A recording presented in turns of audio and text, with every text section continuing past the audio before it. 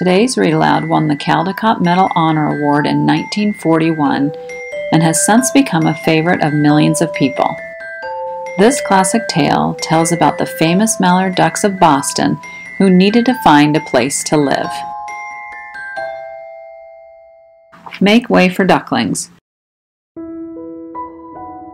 Written and illustrated by Robert McCloskey.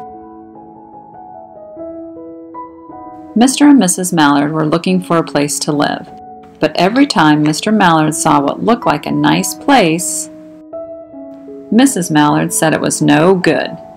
There were sure to be foxes in the woods or turtles in the water, and she was not going to raise a family where there might be foxes or turtles. So they flew on and on.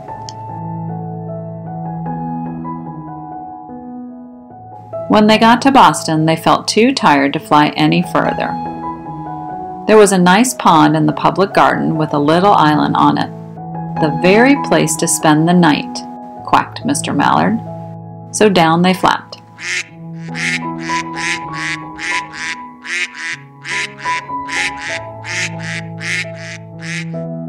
Next morning, they fished for their breakfast in the mud at the bottom of the pond. But they didn't find much. Just as they were getting ready to start on their way, a strange, enormous bird came by. It was pushing a boat full of people, and there was a man sitting on its back. Good morning, quacked Mr. Mallard, being polite. The big bird was too proud to answer, but the people on the boat threw peanuts into the water, so the Mallards followed them all around the pond and got another breakfast better than the first. I like this place, said Mrs. Mallard as they climbed out on the bank and waddled along. Why don't we build a nest and raise our ducklings right in this pond? There are no foxes and no turtles, and the people feed us peanuts. What could be better? Good, said Mr. Mallard, delighted that at last Mrs. Mallard had found a place that suited her. But. Look out! squawked Mrs. Mallard, all of a dither. You'll get run over. And when she got her breath, she added, This is no place for babies, with all those horrid things rushing about. We'll have to look somewhere else.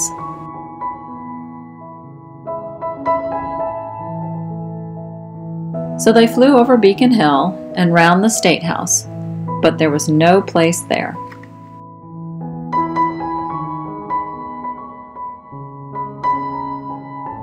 They looked in Louisburg Square, but there was no water to swim in.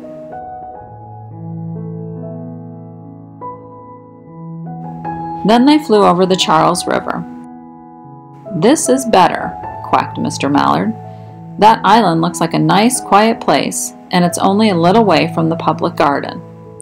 Yes, said Mrs. Mallard, remembering the peanuts. That looks like just the right place to hatch ducklings.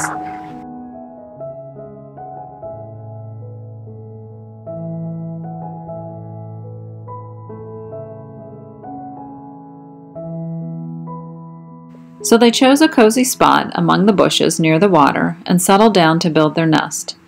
And only just in time, for now they were beginning to molt. All their old wing feathers started to drop out, and they would not be able to fly again until the new ones grew in.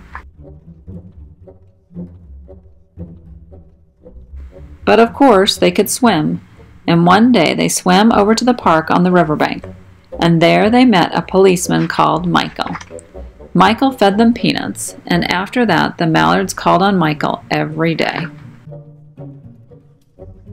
After Mrs. Mallard had laid eight eggs in the nest, she couldn't go to visit Michael anymore because she had to sit on the eggs to keep them warm. She moved off the nest only to get a drink of water, or to have her lunch, or to count the eggs and make sure they were all there.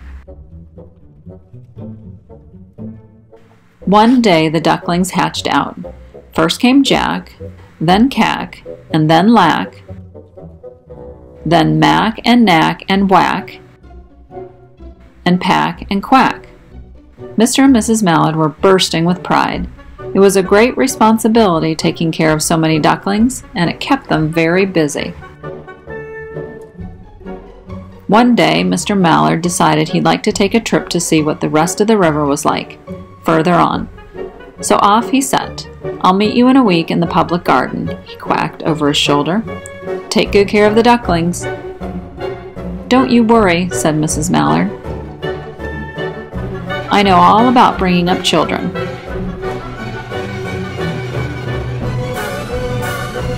And she did.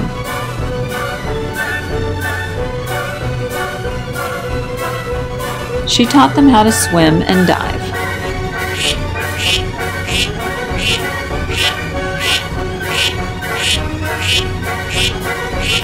She taught them to walk in a line.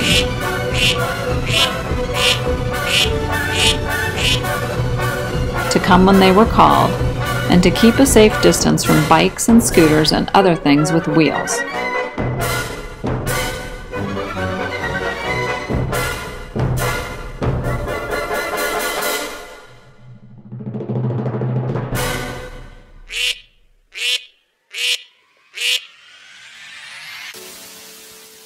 When at last she felt perfectly satisfied with them, she said one morning, Come along, children, follow me.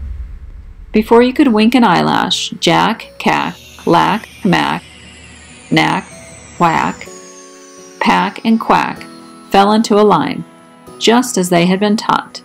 Mrs. Mallard led the way into the water and they swam behind her to the opposite bank. There they waded ashore and waddled along till they came to the highway.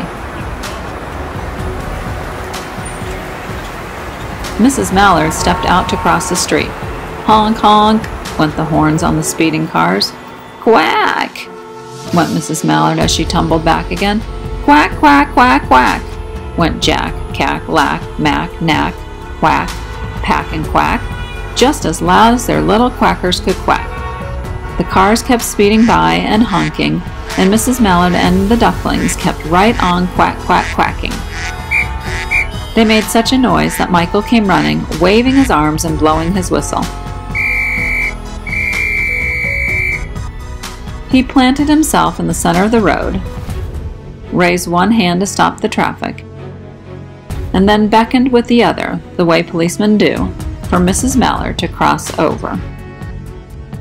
As soon as Mrs. Mallard and the ducklings were safe on the other side and on their way down Mount Vernon Street, Michael rushed back to his police booth.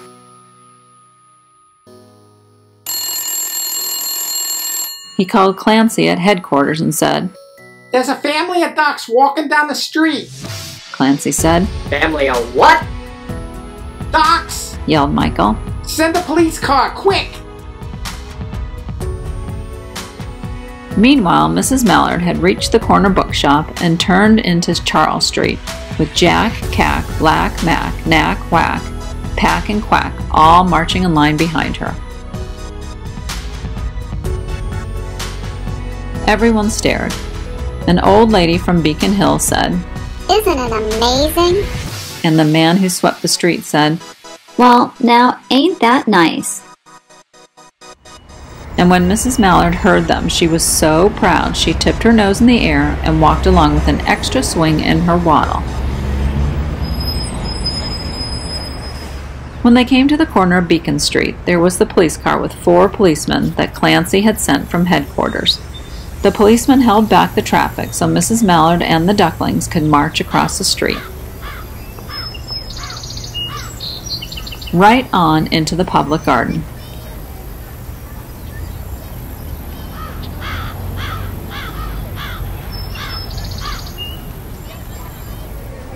Inside the gate, they all turned round to say thank you to the policeman.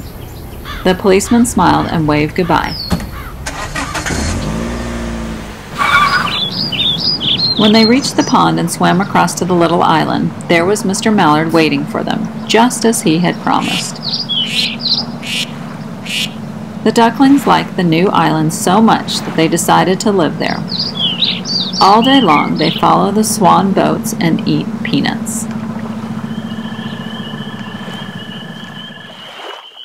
And when night falls, they swim to their little island and go to sleep.